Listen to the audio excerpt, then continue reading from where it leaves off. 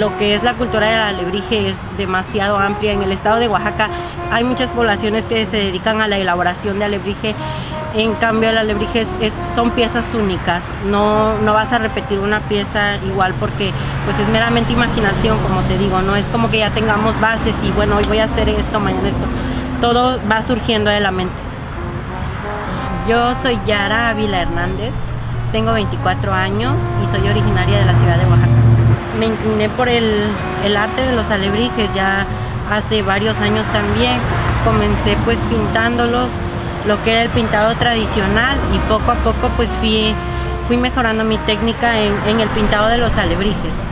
Perfeccionando ya lo que es mi pintado llevo ya poquito más de cuatro años. Comencé con piezas bien chiquitas, practicando. El pueblo de Razola en Oaxaca es considerada la cuna del alebrije porque es donde nace el señor Manuel Jiménez, que fue el iniciador de las tallas de madera. Poco a poco fue evolucionando que hasta el día de hoy el pueblo de Arrazola se dedica completamente a la elaboración de alebrijes.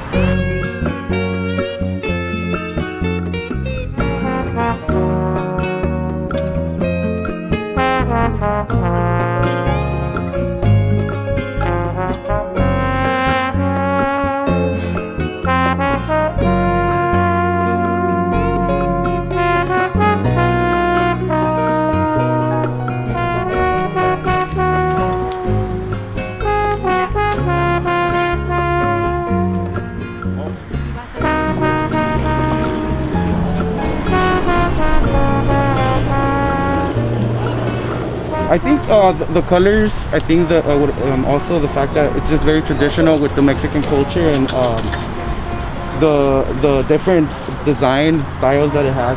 Ahora sí que esto viene de, de los ancestros, de nuestros parientes y de la gente pues del pueblo que, que en verdad te enseñaba a, a cómo. Cada quien tiene un pintado diferente. Eh, traigo piezas de, de, diferentes artesanos, entonces por eso se ve la variedad en, en el tipo de pintado. El, alebrije es una figura mística, surge de una alucinación. Es por eso que eran mezclas de animales o de personas con animales. Por eso surge de ahí. Es una figura 100% mística. Sí tiene una simbolización, como decía la película de Coco, que son como nuestros protectores de almas. En Oaxaca los conocemos como tonas o nahuales. Eso es un alebrije.